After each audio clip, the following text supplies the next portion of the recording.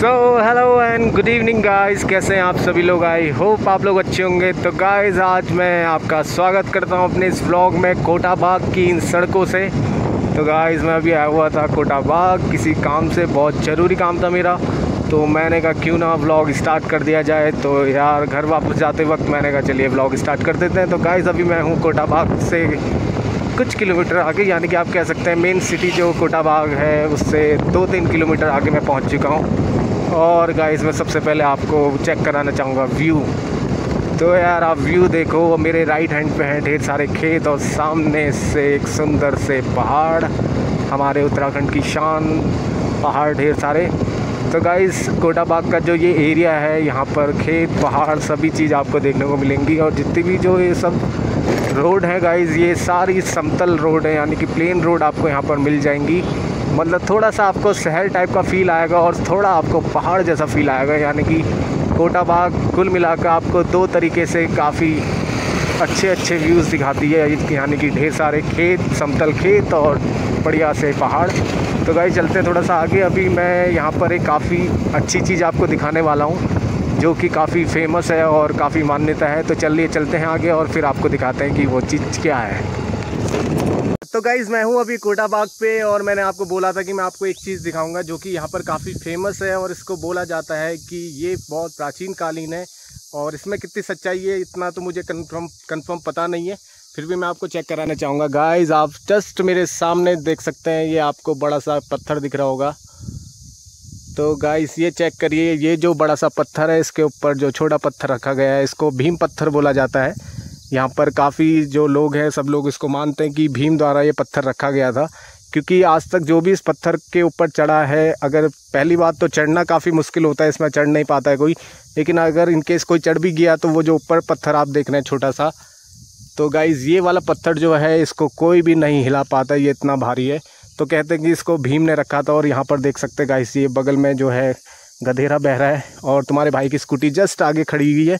तो मुझे लगा कि यार काफ़ी इंटरेस्टिंग चीज़ है और भीम पत्थर वैसे कई जगह पर पहले भी पहाड़ों की तरफ़ और पाए जाते हैं, लेकिन कहा जाता है कि ये भी भीम द्वारा रखा गया था ये वाला पत्थर।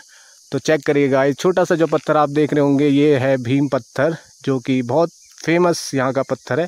तो गाइज़ मेरा जो काम है वो हो चुका था और अब मैं जा रहा था हल्द्वानी की तरफ़ तो मैंने सोचा क्यों ना कोटा बाग से स्टार्ट करा जाए ब्लॉग को, और ये रही आपके भाई की scooty. Ajay from U K zero four तो गाइज़ कल पता नहीं किसने मेरे यू के ज़ीरो फोर में से के जो है गाइज़ ये निकाल दिया है। तो यार ऐसा मत करो यार मतलब भाई की स्कूटी है, थोड़ी सी रिस्पेक्ट करो भाई की स्कूटी की भी यार। तो गाइज़ अभी चलते हैं, फ़िलहाल मैं यहाँ पर हूँ, और यहाँ से मुझे जस्ट टाइम लगेगा मिनिमम एक घंटा जाने में, क्योंकि मुझे ज़्यादा स्पीड में नहीं जाना है हल्के हल्के स्लोली जाना है। तो हल्के हल्के चलेंगे गाइज़ और हल्के हल्के जाने के बाद पहुँचेंगे मस्त तरीके से हल्द्वानी। तो चलते हैं गाइज़ कुछ व्यू आगे और है, बहुत प्यारे प्यारे जंगल है तो मैं आपको आगे चल के जंगल दिखाता हूँ। तो चलिए चलते हैं। तो गाइज़ इस समय मैं पहुँच चुका हूँ मूसा बंगर पे। इस रे, इस जगह का नाम है मूसा बंगर। और यहाँ से गाइज़ स्टार्ट हो जाते हैं हल्द्वानी को। जाते वक्त जंगल तो अब मैं जस्ट कुछ ही मीटर बाद जंगल के अंदर एंटर करने वाला हूँ। यानी कि मेन रोड से होते हुए अगल बगल में जितने भी जंगल हैं यहाँ पर काफ़ी खूबसूरत है गाइस और ये सारे रामनगर के जंगलों के साथ लगे हुए हैं। So look at this guys ये लोकेशन जो है गाइस ये जब मैं यहाँ फ़र्स्ट टाइम आया था, मुझे बहुत अच्छी लगी थी तो चेक करिए आप। अभी जो ये वाले पेड़ हैं गाइस इसने दोनों साइड से अपने आपस में ऐसे जॉइंट हो रखे ना कि ऐसा लगता है कि मानो दोनों तरफ़ से गेट बना हो और बीच में एक प्यारी सी रोड हो। तो ये लोकेशन जो है गाइस ये देखने लायक है। कभी भी अगर आप इस रोड में आएँगे या आए आए होंगे तो आपको बहुत औसम लगने वाला है ये वाली जगह। तो गाइस मेरा यहाँ थर्ड टाइम है आने का तो मैं पहली बार जब आया था, मैंने ये वाली लोकेशन देखी थी गाइस मुझे बहुत अच्छी लगी थी। तो चेक करो गाइस कितनी ज़बरदस्त लोकेशन है। पेड़ बिल्कुल रोड के किनारे पे लगे हुए हैं और बिल्कुल एक तरीके से गेट जैसा लंबा रास्ता आपको देखने को मिल रहा होगा। तो बहुत ही औसम लोकेशन है गाइस चेक कर सकते हैं आप। मैं भी काफ़ी हल्के हल्के और नेचर का इंजॉय करते हुए जा रहा हूँ, क्योंकि आप देख सकते हैं मेरी स्पीड ज़्यादा नहीं है। थर्टी के समथिंग मेरी स्पीड चल रही है। तो यार चेक करो गाइस लिटरली ये लोकेशन मेरी इतनी फेवरेट है ना, मैं आपको बता नहीं सकता। कभी मेरे पास डीएसएलआर रहा, आया तो मैं ज़रूर आऊँगा यहाँ पर फ़ोटो करने, खींचने के लिए। तो गाइस आप चेक करिए लोकेशन बल्कि मेरा मन तो कर रहा है कि यहाँ पर थोड़ी देर रुकूँ। लेकिन क्या करें, हल्द्वानी भी जाना बहुत ज़रूरी है तो चलते हैं हल्द्वानी की तरफ़ और मिलते हैं आपसे थोड़ी देर में आगे। तो गाइज़ अभी मैं हूँ काला डूँगी से थोड़ा सा आगे और आप देख सकते हैं यहाँ बजरंगबली हनुमान जी का मंदिर है और यहाँ पर काफ़ी श्रद्धालु इस समय हनुमान चालीसा का पाठ कर रहे हैं और आप देख सकते हैं गाइस अगल बगल में इतने प्यारे प्यारे जंगल और ये वाला जो रास्ता है गाइस ये जाता है हल्द्वानी को। तो अभी तुम्हारा भाई थोड़ी देर बैठा और भगवान जी से आशीर्वाद लिया। तो अब चलते हैं गाइज़ आगे की तरफ़ और आगे कुछ और व्यूज़ दिखाएँगे आपको। तो चलिए चलते हैं। तो गाइस अभी तुम्हारा भाई पहुँच चुका है हल्द्वानी से 16 किलोमीटर पहले ही।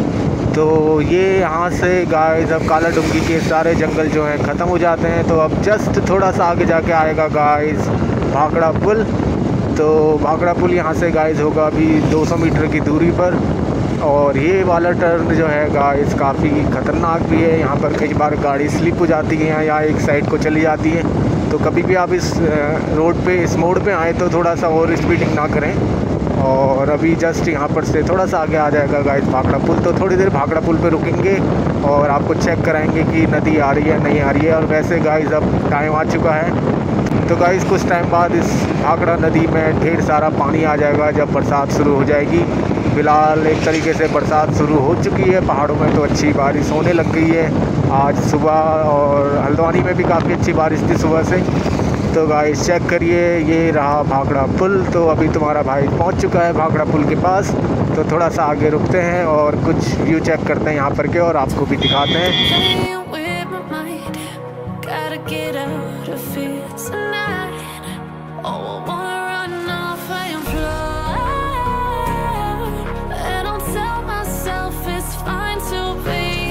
तो गाइज़ अभी मैं पहुँच चुका हूँ भाखड़ा पुल के पास और आप देख सकते हैं मेरे पीछे ये जो नदी है, भाखड़ा नदी कही जाती है। लेकिन गाइज़ इस समय जो ये नदी है, इस समय बिल्कुल सूखी हुई है। तो अभी कुछ ही मंथ बाद जब यहाँ पर गाइज़ बरसात शुरू हो जाएगी पहाड़ों में तो ये नदी पूरी आप देख सकते हैं यहाँ पर तक पूरी भर के आएगी। तो अभी तो इस समय ज़रा सा भी यहाँ पानी नहीं है। लेकिन बरसात के टाइम टाइम पर आप जब देखेंगे गाइस ये नदी बहुत तगड़ी आती है। तो मैं उस दिन ज़रूर एक ब्लॉग बनाऊँगा, जिस दिन यहाँ पर नदी आएगी, मैं आपको दिखाऊँगा। तो अभी गाइस यहाँ पर थोड़ी देर रुकता हूँ, थोड़ा व्यू देखता हूँ, उसके बाद सीधे आपको मिलता हूँ घर पे।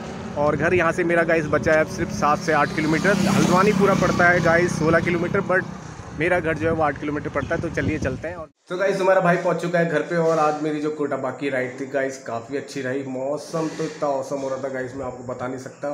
उधर की साइड को भी बारिश का मौसम बना था और जंगलों के बीच से जब मैं गया तो गाइस लिटरली आपने जो वो व्यू देखा होगा ना गाइस बहुत औसम जगह है, बहुत प्यारी जगह लगती है। और बारिश की वजह से वहाँ पर जो ग्रीनरी थी गाइस काफ़ी ब्राइट हो रही थी, बहुत ही मतलब ज़्यादा वाली औसम लग रही थी। तो आपने वीडियो में तो देखा ही होगा, अगर आपको आज की वीडियो ये पसंद आई है गाइस तो लाइक एंड सब्सक्राइब करके ज़रूर जाइएगा। और गाइस सब्सक्राइब ज़रूर करिएगा। प्लीज़ अगर आप सब्सक्राइब कर रहे हैं तो बहुत अच्छी बात है। और अगर आपने ये वीडियो लास्ट तक देख ली है तो सब्सक्राइब करके ज़रूर जाइएगा गाइस ऐसे ही आपको नए नए कंटेंट मिलते रहेंगे। तो आई होप गाइज़ आपको आज का लोग पसंद आया होगा। पसंद आया मेरे चैनल पर नए हैं तो जल्दी से लाइक एंड सब्सक्राइब कर दीजिए। तो मिलते हैं गाइज़ आपसे नेक्स्ट ब्लॉग में। तब तक के लिए bye take care and be happy be bright